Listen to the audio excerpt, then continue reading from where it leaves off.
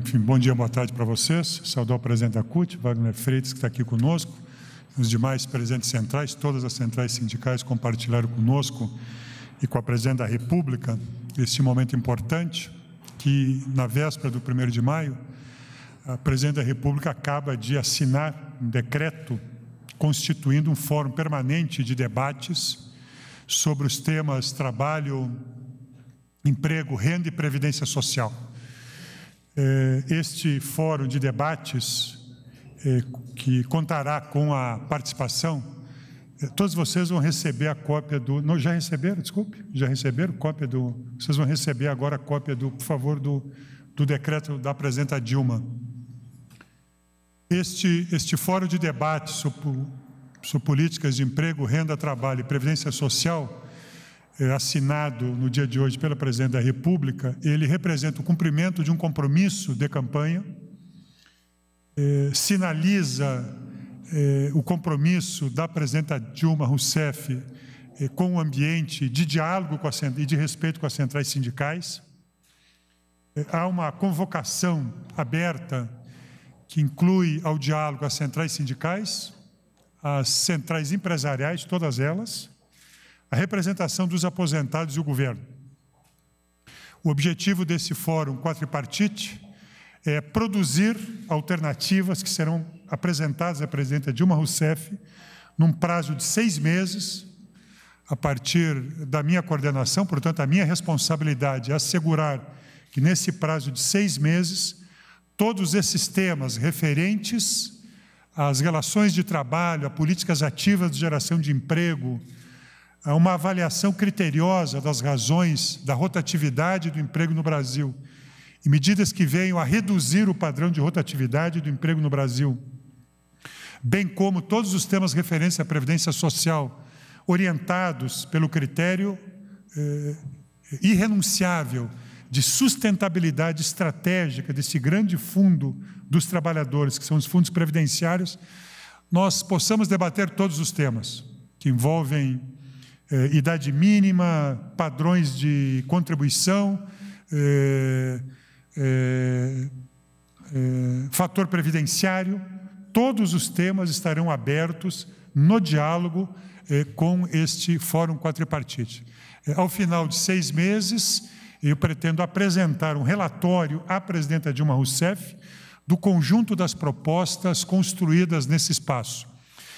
Quero, quero crer e penso que é assim que deve ser compreendido esse gesto, um gesto de, de reafirmar, de assegurar um compromisso de campanha, é um gesto forte no sentido de apostar no ambiente de diálogo, um gesto forte de buscar uma agenda positiva nas relações de trabalho, nas, em todos os mecanismos de sustentação eh, dos grandes direitos sociais conquistados pelos trabalhadores do nosso país.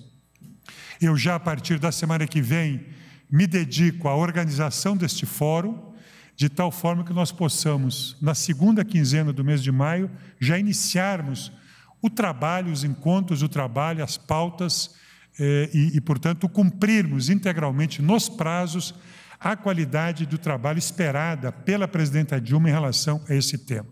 Nós iremos também convidar a representação do Congresso, os parlamentares, para participarem eh, dos momentos importantes, dos momentos eh, do debate em relação a esses temas eh, do Fórum. Por fim, registrar aqui a manifestação positiva de todas as centrais sindicais, acolhendo e reconhecendo como muito positivo este esforço que nós estamos fazendo. A presidenta Dilma Rousseff, por fim, mais uma vez manifestou sua preocupação e sua posição em relação as medidas, ou especialmente o projeto 4330, eh, aprovado na Câmara e, nesse momento, em discussão no Senado da República.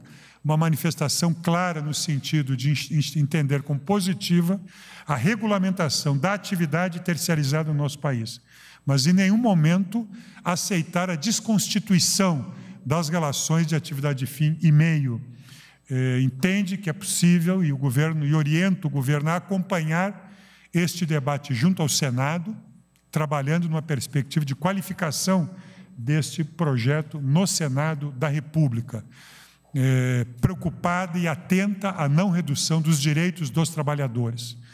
E a presidente da República fez esta menção de uma forma muito clara a toda a representação das centrais sindicais eh, no dia de hoje. Por fim, eh, no momento em que nós saudamos os trabalhadores pelas conquistas eh, acumuladas ao longo desses anos, é importante renovar um grande compromisso da presidenta Dilma Rousseff, que será ratificado e fortalecido, que foi o grande movimento que a presidenta já fez ao encaminhar a, para análise do Congresso Nacional sua proposta de valorização do salário mínimo, também aqui um compromisso de campanha, de assegurar até o ano de 2019 a correção do salário mínimo da inflação, correção integral da inflação e incorporação do aumento do PIB, da produtividade no salário mínimo, assegurando, portanto, eh, o aumento do poder de compra do salário mínimo e assegurando a valorização do salário mínimo até 2019, com impactos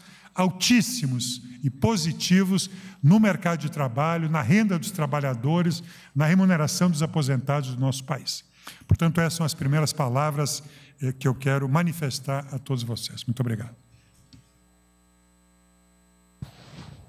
Bom, boa, boa tarde a todas e a todos. A CUT aceita em, a, o convite de participar do fórum e as demais centrais sindicais também. Nós achamos que foi importante a presidenta trazer para a mesa de negociação a discussão sobre a questão previdenciária brasileira. Né? Isso é um avanço. Nós esperamos que nesses seis meses a gente tenha uma solução para isso, que esse fórum efetivamente gere uma proposta, que essa proposta vire lei, vire lei. Porque nós precisamos estabelecer os direitos previdenciários para todos os trabalhadores e trabalhadoras brasileiras. O que, a CUT vai discutir nesse fórum? Fundamentalmente, o fim do fator previdenciário. Nós entendemos que esse é um momento adequado, porque vai ser um fórum tripartite, quadripartite, vai ter o governo, as centrais sindicais, ah, os trabalhadores nativos, né, os trabalhadores aposentados e os patrões. Então, a CUT vai discutir, como já discutiu no Fórum Nacional do Trabalho, no início do governo Lula, o fim do fator previdenciário. Né? E essa herança horrorosa que faz com que os trabalhadores tenham que trabalhar mais para se aposentar e quando se aposenta ganham menos. Nós saudamos a presidenta Dilma nesse sentido, que é na mesa de diálogo e na mesa de debate é que nós temos que resolver o problema. Também questionamos diretamente a presidenta Dilma e os ministros que estavam lá presentes, que nós achamos que as, a, a 664 e a 665, na opinião da CUT e das centrais sindicais, deveriam ser trazidas para esse fórum de debate porque ela também tem a ver com a questão de direitos sociais, já que a própria presidenta disse que esse fórum, além de discutir previdência, da forma que o ministro aqui disse, também vai discutir regulamentar direitos trabalhistas outros importantes no Brasil. E nós estamos dizendo, ao mesmo tempo que nós achamos que foi uma ótima iniciativa, às vésperas do 1 de maio, a presidenta chamar o fórum, convocar o fórum, seria uma iniciativa mais importante ainda se ela retirasse do trâmite no Congresso Nacional, a 664 e a 665, e trouxesse esse debate também para o fórum, para ser acordado diretamente entre as partes. Né? Porque, na nossa avaliação, a, 664, a, a medida 664 e a 665 retira direito dos trabalhadores e das trabalhadoras. E a presidenta tem compromisso, reafirmou hoje, de não retirar direito. Ela não tem essa interpretação, ela acha que são apenas ajustes de distorções. O que nós temos, a divergência é que nós achamos que ajustes de distorções ou não, nós achamos que é tirar direito, tem que ser discutido diretamente na mesa, democraticamente, junto com as demais discussões. Fique claro que para as centrais sindicais, fundamentalmente para a CUT, é a oportunidade de nós conseguirmos acabar com o fator previdenciário e estabelecermos outras conquistas para os trabalhadores. Também nós falamos hoje sobre o 4330. Né? E o 4330, a presidenta colocou o que o ministro disse aqui, que não pode retirar direito da classe trabalhadora, não pode aparecer como uma reforma trabalhista às avessas. Uma coisa é regulamentar os 12,7 milhões de trabalhadores terceirizados que existem hoje. A CUT topa se o governo chamar essa discussão, se o Congresso chamar essa discussão, nós topamos regulamentar os 12,7 milhões que existem hoje terceirizados, porque eles são precarizados, têm condições piores que os, que os trabalhadores que têm contrato primário. Agora, o 4330 não fala disso. O que ele fala é da possibilidade de terceirizar toda a atividade fim, ou seja, vai transformar os outros 40 milhões de trabalhadores que têm contrato primário em terceirizado e precarizado. Este é o grande problema, tem que separar as coisas. Por isso que, inclusive, nós solicitamos no, no Senado Federal que o Senado apresente, traga para si a discussão sobre esse assunto e apresente a partir do Senado uma proposta para regulamentar os 12,7 milhões. Esta é a nossa reivindicação. Aí a CUT vem para o debate, mas tire das nossas vidas essa absurda proposta de poder terceirizar em atividade fim, porque eu repito, se terceirizar em atividade fim, senhores e senhoras, meus companheiros jornalistas que estão aqui trabalhando agora, cinegrafistas e todos os outros trabalhadores brasileiros que têm direta contratação direta serão demitidos. E o patrão vai contratar uma empresa terceirizada para fazer o trabalho de vocês, pagando para esse trabalhador metade do que ele ganha, fazendo com que ele trabalhe um horário maior do que vocês trabalham, inclusive na categoria jornalista. Inclusive, em todos os outros. Quem é que acha mesmo que um banco, um banqueiro, vai manter os bancários todos contratados diretamente, se ele pode demiti-los e contratar uma empresa terceirizada para fazer o serviço pagando metade do salário? Por isso que não pode ter terceirização em atividade meio. A presidenta diz que acha que tem que ter regulamentação em atividade fim. Né? A presidenta disse que tem que regulamentar a terceirização, a terceirização e precarização, mas não na atividade fim. Nós também falamos hoje, eu queria aproveitar esse momento para fazer uma comparação entre o procedimento que está tendo a presidenta da República, trazendo para discussão num fórum quadripartite as discussões previdenciárias, ou seja, dialogando. E o diálogo é, pressupõe isso, você é contra, a favor. Totalmente diferente é uma denúncia que eu tenho que fazer ao Brasil, da posição do governo do estado do Paraná e do governo do estado de São Paulo, que tem uma greve de professores acontecendo, e ontem o que aconteceu em Curitiba foi um genocídio à democracia. As professoras foram agredidas, são 147 professoras e professoras agredidas, em, pessoas ainda hoje em hospitais, onde a polícia do estado do Paraná deveria ser denunciado pela Lei Maria da Penha, já que agrediu as mulheres trabalhadoras e os homens também, mas fundamentalmente os trabalhadoras que forem agredidas, recebidas com bala de borracha, com bala de bolinha de gude, pasmem, com atirador de elite colocado em cima de prédio, cachorros, helicópteros, como se ali estivesse um aparato de guerra. Então, é um absurdo um atentado contra o direito de greve, de manifestação, e que foi feita pela Polícia do Paraná. Ontem eu quero protestar e dizer claramente, e fizemos essa solicitação a presidenta Dilma, que o governador Beto Richa receba os professores em negociação, receba a CUT, porque é um absurdo numa democracia acontecer o processo de greve e o poder público sequer atender, atender para negociar.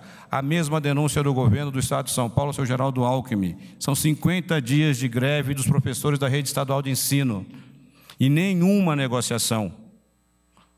Os quem está me ouvindo agora, saiba que em São Paulo o seu filho está sem ir na escola porque o Geraldo Alckmin não chama os professores para negociar.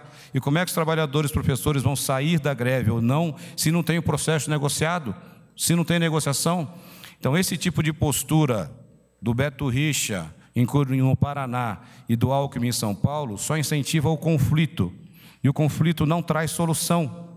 Então, nós estamos achando que tem que ter uma intervenção e pedimos à presidenta Dilma, que ela peça, provavelmente vai pedir para o ministro da Educação, que intervenha no sentido de que se abra o diálogo, tanto na greve dos professores da Rede Estadual de Ensino de São Paulo, quanto na greve dos professores da Rede Estadual de Ensino no Paraná. E que não haja violência. Você não pode trabalhar a professor, bater em professor, bater em professora, é mais ou menos como bater na mãe e bater no pai.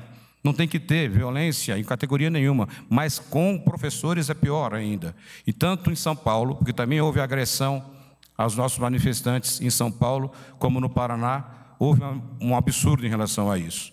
E fique claro que nós é, vemos com bons olhos esse fórum, mas que, repito, é, da mesma forma que nós somos contra o 4330 e vamos fazer, se for necessário, uma greve nacional no Brasil para impedir essa atrocidade contra vocês que trabalham, nós também achamos que a 664 e a 665 retira direito.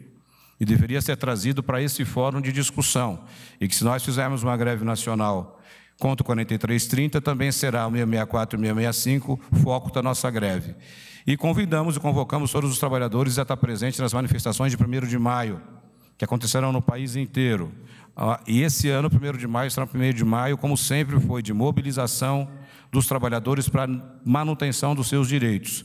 Veja bem, se acontecer, se o Senado aprovar o 4330 como a Câmara aprovou, simplesmente é rasgar todos os direitos trabalhistas, é rasgar a carteira de trabalho, é rasgar a CLT, é acabar com as férias, o 13º salário. Não é verdade que as Algumas medidas que foram colocadas no corpo do projeto garantam a representação sindical, não tem essa garantia, fundamentalmente se for e tiver a, a terceirização e atividade fim. Foram esses temas. No final, eu, nós solicitamos à presidenta Dilma que se manifeste e mande um recado para os trabalhadores do 1 de maio, dizendo que no governo dela não há retirada de direitos. A presidenta nos disse que vai fazer isso por rede social, né, para atender uma quantidade muito grande de trabalhador, mas vai se pronunciar, enfim, é, para os trabalhadores. Eu espero que ela fale que o governo é contra o 4330, né, porque retira direito dos trabalhadores, e que a 664 e a 665 venham para discussão nessa mesa, que seria importante para todo mundo.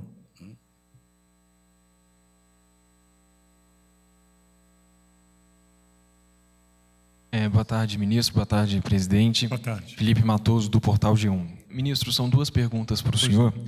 A primeira é o seguinte: desde o início do ano, o senhor, o ministro Gabas, o ministro Barbosa, tem se reunido com as centrais sindicais para discutir as MPs 64, 664 e 665. É, diante da afirmação do presidente da CUT de que a CUT pode fazer uma greve nacional, inclusive em razão dessas duas MPs, e a CUT pede ao governo para retirar de trâmite do Congresso Nacional essas duas MPs, qual é a posição do governo? É a primeira pergunta. A segunda, hoje o presidente do Congresso, Renan Calheiros, disse que é uma situação ridícula a presidente não se pronunciar em cadeia nacional de rádio e TV no primeiro de maio. O que, que o governo tem a dizer sobre isso? Obrigado.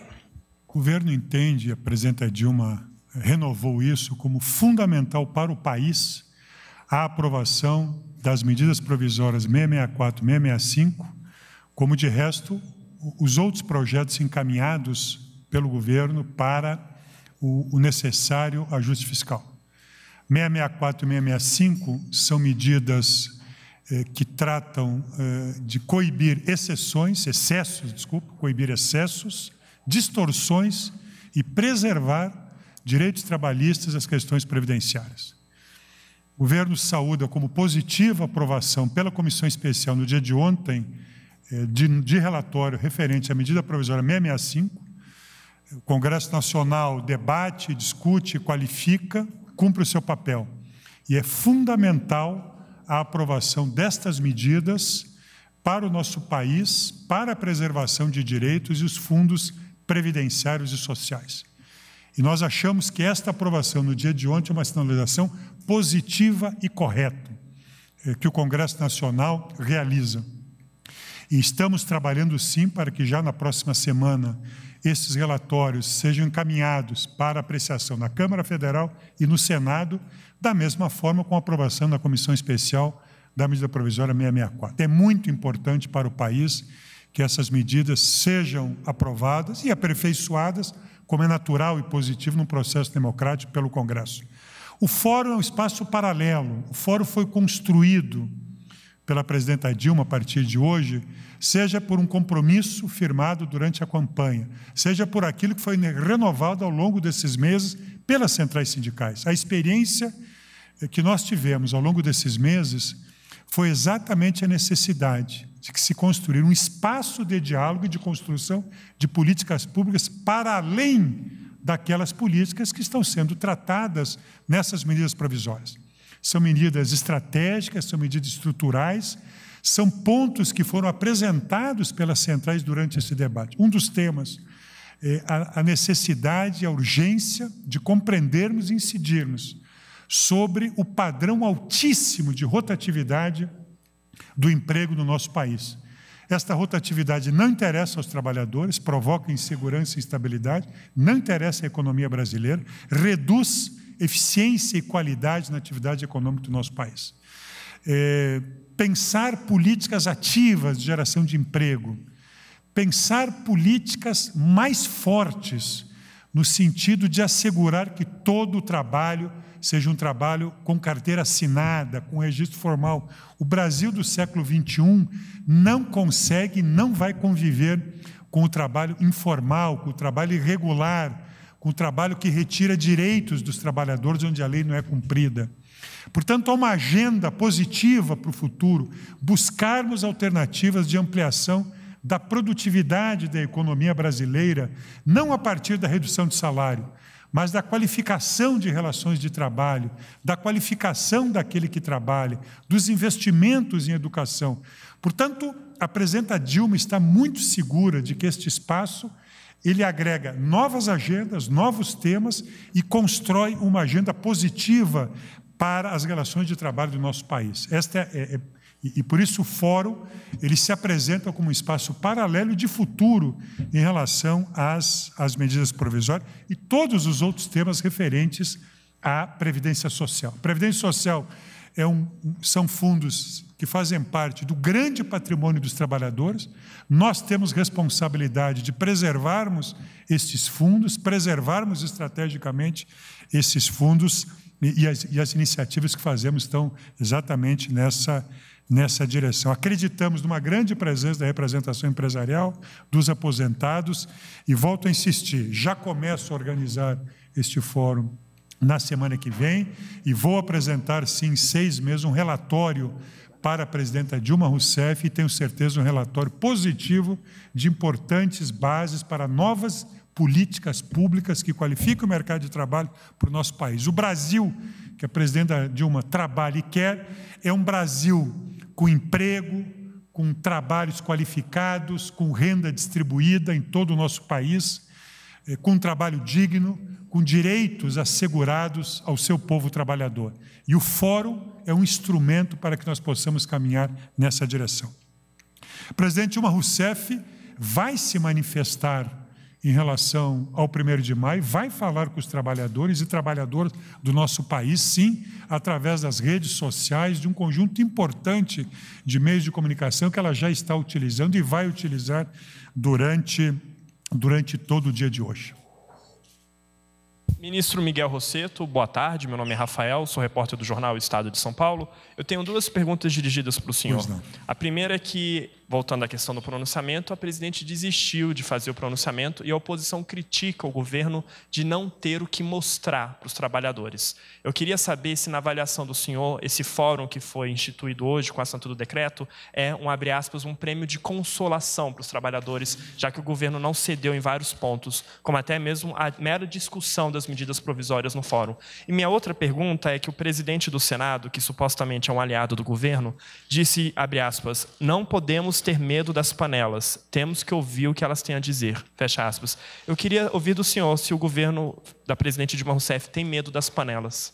Eu quero reafirmar o que já disse. A presidenta Dilma tem falado e vai falar com os trabalhadores e trabalhadoras, eh, homenageando o 1 de maio como o Dia dos Trabalhadores e das Trabalhadoras, homenageando aqueles que trabalham, produzem a riqueza do país, homenageando eh, o conjunto das conquistas históricas e renovando o seu compromisso com os trabalhadores e as trabalhadoras desse país.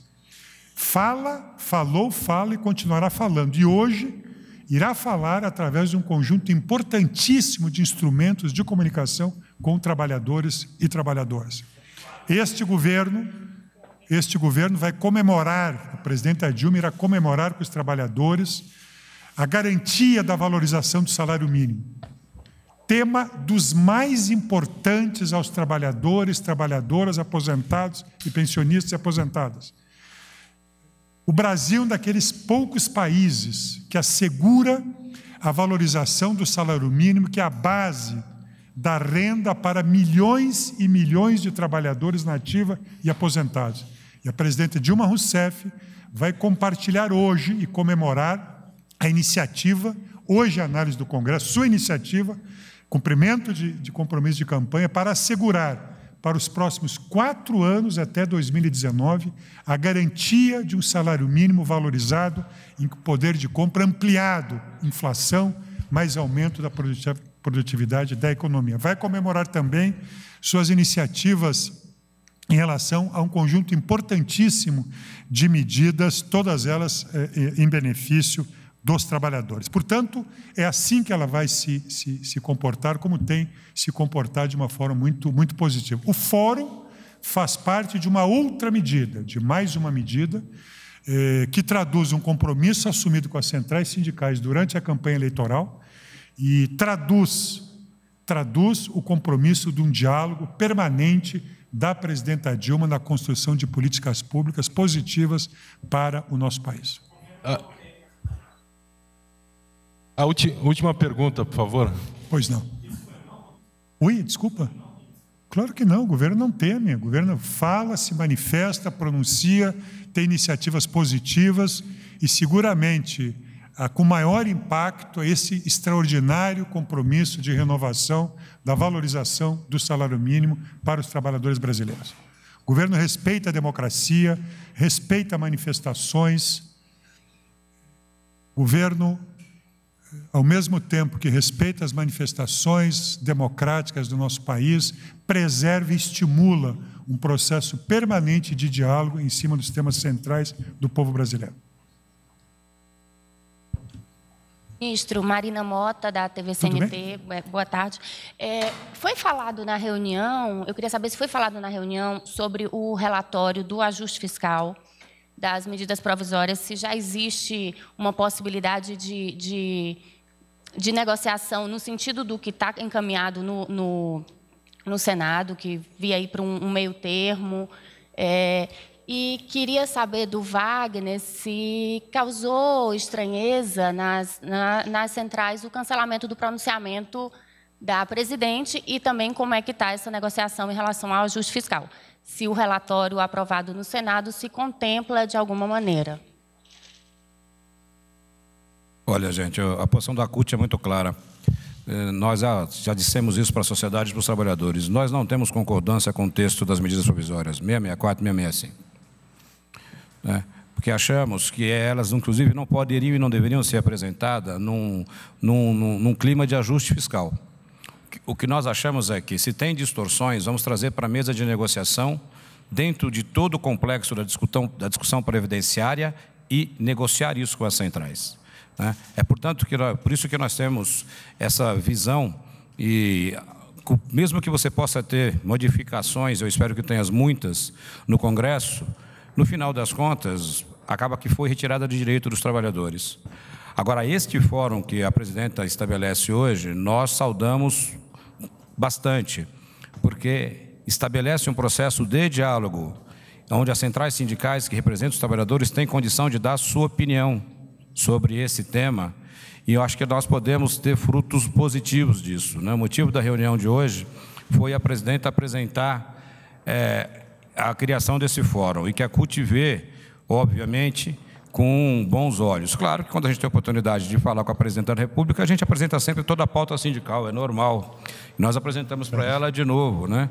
que é o fim do fator previdenciário, a redução da jornada de trabalho sem redução de salário. Dissemos para a presidenta que é importante fazer um fórum também para discutir o direito de negociação dos trabalhadores de serviço público, né? Que talvez não tivéssemos, por exemplo, uma greve de 50 dias em São Paulo, se tivesse, se fosse obrigatório o processo de negociação, porque hoje não é. Hoje os trabalhadores do serviço público fazem 20 dias de greve, 30 dias de greve, só para abrir um processo de negociação com o, com o Estado, ou com o governo federal, ou com o município. Isso é um absurdo. Então, apresentamos as nossas reivindicações em relação aos trabalhadores do campo, tudo mais. Né? E falamos também, obviamente, dessa questão do 4330. E é o que é importante é essa posição que o governo e as centrais têm solicitado muito o governo ter essa posição firme contra a terceirização em atividade fim. Porque nós sabemos que vai ser uma disputa muito grande na sociedade brasileira, porque o único sentido que tem o 4330 é poder libertar liberar a terceirização em atividade fim. Tanto que eu quero saber se os, se os empresários ou os defensores do 4330 do texto topam retirar o artigo 2 que fala que não que fala da terceirização em atividade fim. Isso não topam, que é regulamentar a terceirização em atividade fim. Isso nós não vamos fazer, né? Mas do, do ponto de vista da presidenta chamar esse fórum, nós achamos importante estarmos presentes e vamos trazer nossa proposta. E a primeira dela vai ser o fim do fator previdenciário, que é uma das questões que mais assola os trabalhadores, mais dificulta a luta dos trabalhadores.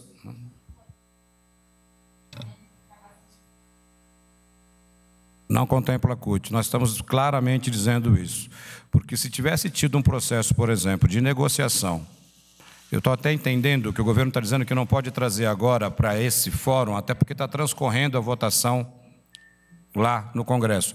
Mas o correto teria sido feito, ter sido chamado esse fórum que nós louvamos antes, e neste fórum, dentro deste fórum, ou de outro espaço democrático, como já tinha acontecido, fazer as tais, corrigir as tais distorções que o governo quer fazer. Por exemplo, se acaba o fator previdenciário, se acaba o fator previdenciário, que é um grande ganho para os trabalhadores, as centrais têm muito mais condição de negociar outras questões do que sem acabar o fator previdenciário.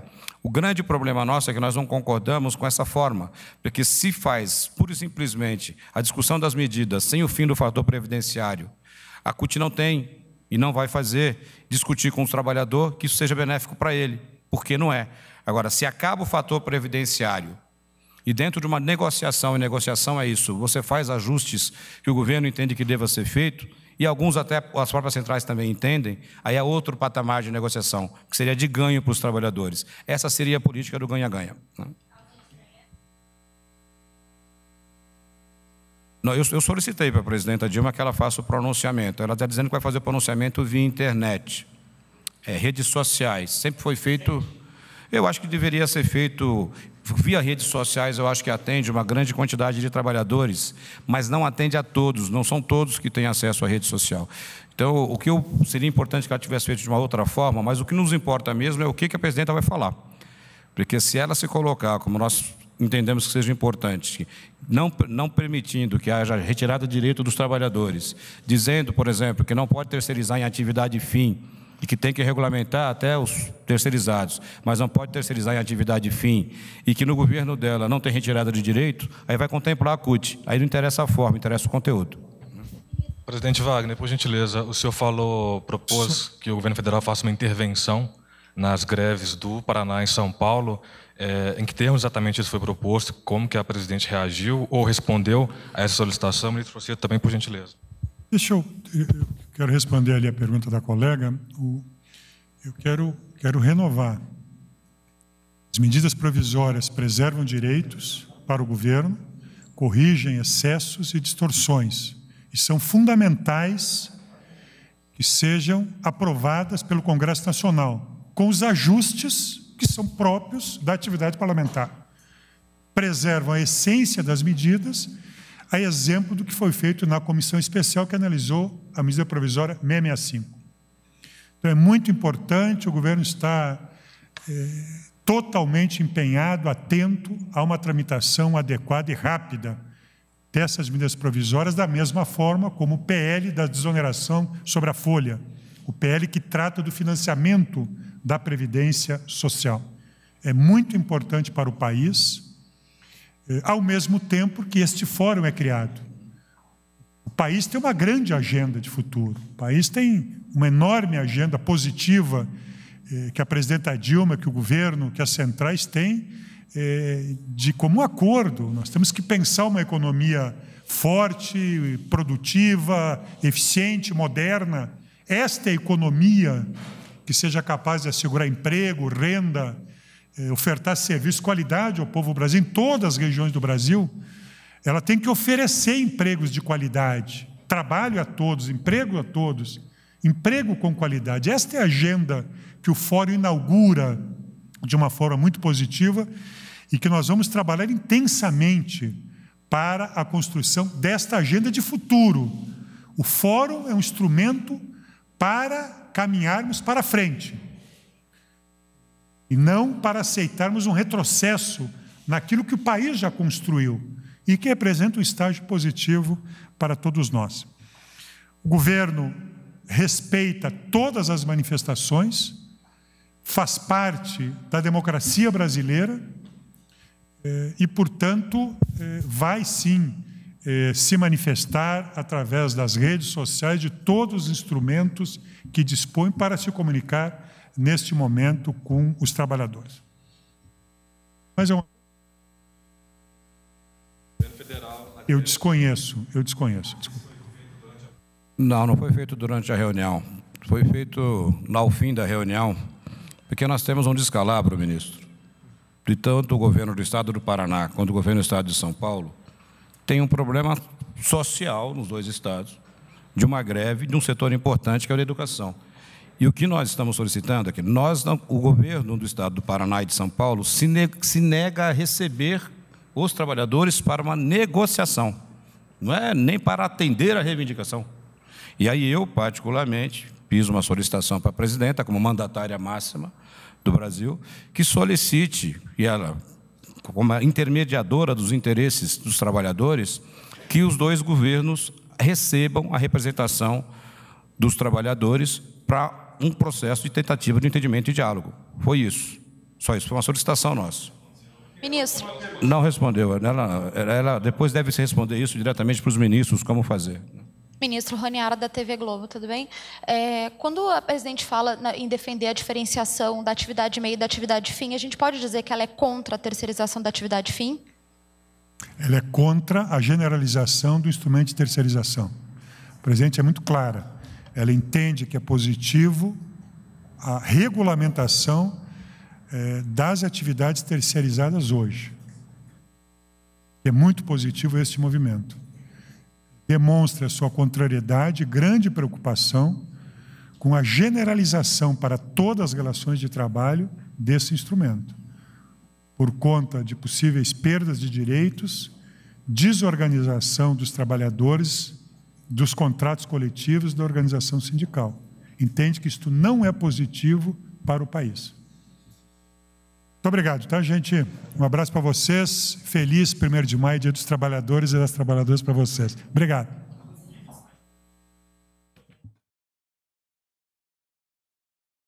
Essa foi a entrevista concedida pelo ministro-chefe da Secretaria-Geral da Presidência da República, Miguel Rosseto, e pelo presidente da CUT, Wagner Freitas. O ministro Miguel Rosseto falou sobre o decreto assinado hoje pela presidenta Dilma Rousseff, que cria um fórum de debates entre representações de trabalhadores, empresários e governo. Segundo o ministro, após seis meses, será apresentado um documento final com o resultado desse diálogo e nós podemos voltar a qualquer momento com outras informações. Continue com a gente, NBR, a TV do Governo Federal.